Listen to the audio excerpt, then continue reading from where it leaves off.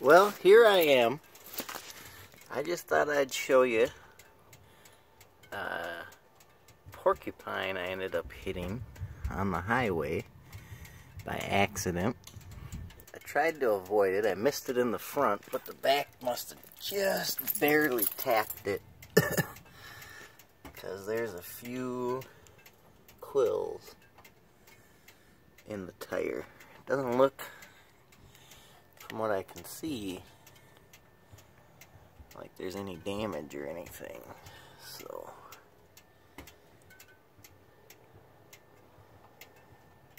just thought I'd share that. I thought it was kind of funny.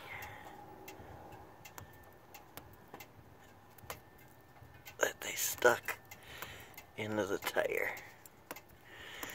I don't think I hit him very hard or anything. I just barely hit him. That's why there's no blood or anything. But we did have the quill. So that's what happens if you hit a porcupine while you're driving.